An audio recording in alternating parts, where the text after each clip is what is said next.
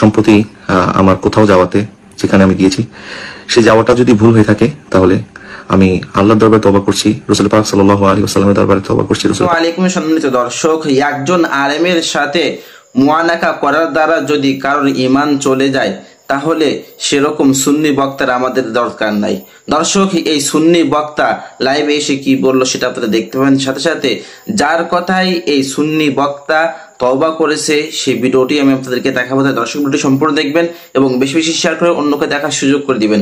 চলুন দর্শক, আমরা সর্বপ্রথম দেখে আসি এই সুন্নি বক্তা মুস্তফা আজারি কি সকলের মাথার তাজ আহলে সুন্নাত ওয়াল জামাতের সিপা সালার এদেশের লক্ষ কোটি সুন্নি জনতার প্রাণস্পন্দন।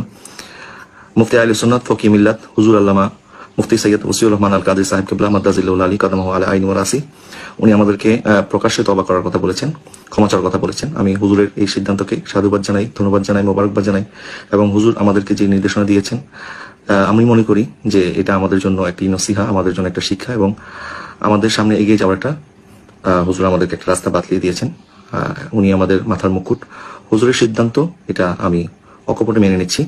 এবং আমি আপনাদের খেদমতে এই বিষয়টা আরজ করতে চাই যে সম্প্রতি আমার কোথাও যাওয়াতে যেখানে আমি গিয়েছি সেই যাওয়াটা যদি ভুল হয়ে থাকে, তাহলে আমি আল্লাহর দরবারে তবা করছি, রসুল পাক সাল্লাহ আলী আসসালামের দরবারে তবা করছি, রসুল পাক যেন আমাকে সুপারিশ করেন।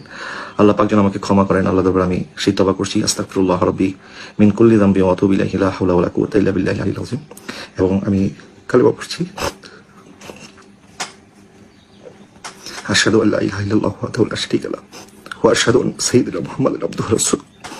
আমি আল্লাহর কাছে ক্ষমা চাই। আল্লাহ রসুলের কাছে ক্ষমা চাই।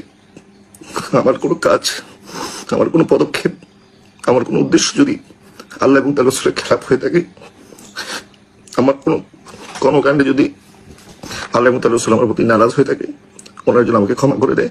আমি আল্লাহ দরবারে আমার ভুলের জন্য অকপটে স্বীকার করছি। আমার সকল ভুল আল্লাহ সুবহানাহু ওয়া তাআলা যেন ক্ষমা করে, আপনার জন্য দোয়া করবেন। এবং দুঃখিত। এবং আমার কোনো কাজে আমাদের আয়রসনতল জামাতের কেউ আমাদের ভক্তবিন্দু আমাদের, আমাদেরকে যেন অনুসরণ করেন। আমাদের শুভাকাঙ্ক্ষী যে আমাদেরকে ভালোবাসেন নবী প্রেমিক অলি প্রেমিক সুন্নি জনতা। আমি আপনাদের কাছেও ক্ষমা চেয়ে নিচ্ছি। দর্শক, এই বক্তাকে আমি খুব ভালো মনে করতাম, কিন্তু এই বক্তা যে এরকম তা আগে জানতাম না। চলুন দর্শক, এবার দেখে আসি তার সেই উস্তাদের কথাগুলি। মুনাফেকদের সাথে কোলাকুলি করেছে পুস্তাকদের সাথে, বেয়াদবদের সাথে। আমি আহ্বান জানাব, অতি সত্তর তবা করার জন্য, খালিস নিয়তে, যথাযথভাবে। তাদের সাথে কোলাকুলি করা, তাদেরকে হাসি হাসি খুশি করা, তাদের সাথে খানা পিনা গ্রহণ করা, এটা সম্পূর্ণ সুন্নিয়তের সাথে গদ্দারি। দুই একজন নজওয়ান আজহারি নামে। সেখানে আমার ছেলেও আছে। আরেকজন আজহারি আমার ছেলে না হলো সেও ছেলের মতো। তাদের কিছু আচরণ বিচরণ লক্ষ্য করছি, যেটা আহলে সুন্নত ওয়াল জমাতের জন্য অত্যন্ত কলঙ্কময়। আমাদেরকে মাথায় রাখতে হবে, ইমাম আহলে সুন্নত আল্লামা গাজী শের বাঙ্গালা রহমতুল্লাহ রক্তের সাথে কোন সুন্নি আলেম, কোন সুন্নি জনসাধারণ ব্যবহারী করতে পারে না। যদি তার কাছে সুন্নিয়তের জর্রা পরিমাণ দরদ থাকে তিনি রক্ত দিয়ে খন্দকিয়ার জমিন কি জন্য লাল করেছেন? কারও সাথে কোনো ব্যক্তিগত দ্বন্দ্ব ছিল না। জাগা জমিনের মামলা মোকদ্দমা ছিল না। যেখানে আমাদেরকে ডাক দিবে আমরা চলে যাব। যারা রসুল করিম সাল্লামের শানে গুস্তাহি করেছে, উম্মুল মুমিন খদিজাতুল কুবরা রাদিয়াল্লাহু তাআলা আনহার শান করেছে, যতক্ষণ তারা যথাযথ তওবা করবে না তাদের ওই ভুল স্বীকার করে।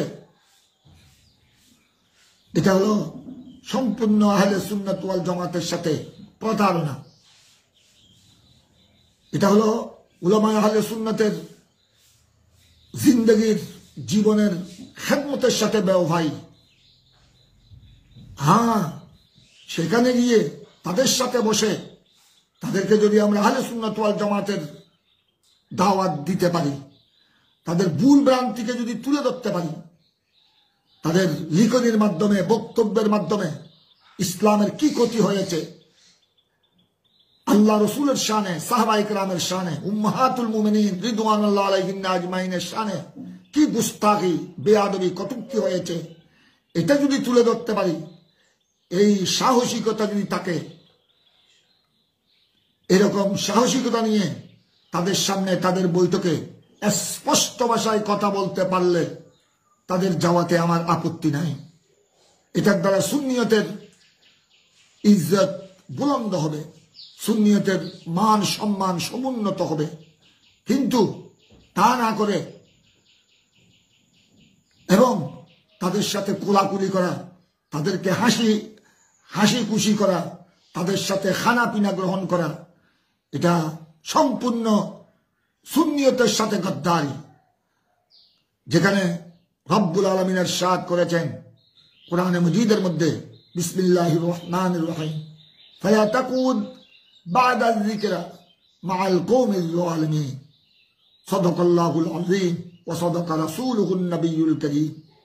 যেখানে জোয়ালেমদের সাথে উঠা বসা উঠা বসা করতে সম্পূর্ণ নিষেধ করেছেন রব্বুল আলমী এই আয়াতে পাকে। জোয়ালিম কারা এরা হলো বেইমান এরা হলো আল্লাহ রসুলের শানে, সাহাবাই কেরামের শানে, আহলে বাইত রসুলের শানে, নবীগণের আসমতের শানে যারা কটুক্তিকারী, এরাই হলো বড় জোয়ালেম শিবালঙ্ঘনকারী যেখানে হাদিসে পাকের মধ্যে সরওয়ারে দু সুলতানে কৌনায়ন রসুল আকরম সাল্লাল্লাহু আলাইহি ওয়াসাল্লামের সাথ করেছেন। যে হাদিস, হাদিসের পক্ষাত ইমামগণ ইমামে আহমদ বিন হাম্বল রবিউল্লাহ তালানহু সহ, ইমামে বাইহাকি আলাইহি রহমা সহ, ইমামে তাবরানি সহ, খসুসান সর্বোপরি গৌসুল আজম মলিকুল সম্রাট, পীরানে পীর দস্তগীর, শেখ সৈয়দ সুলতান পীর মীর মুহিউদ্দিন আব্দুল কাদের জিলানি রদিউল্লাহ তালান আলাইহি রহমা রিদওয়ান। গুরিয়তুল তালেবিনের মধ্যে এ হাদিস জিকির করেছেন, যেখানে রসুলে পাক সাল্লাহ আলাইসাল্লামের সাথ করেছেন। যুগে যুগে আমার উন্মতের মধ্যে এই ধরনের ফিতনাবাস সৃষ্টি হবে। যারা ইসলামের লেবাসে নবীগণের শানে বেয়াদবি করবে, সাহাবি রসুলের শানে কটুক্তি করবে, এদের ব্যাপারে রসুলে পাক সাল্লাহ সজাগ করে দিয়েছেন উম্মতকে যে তোমাদের সাথে তাদের দেখা হলে, সাক্ষাৎ হলে সালাম দিবে না।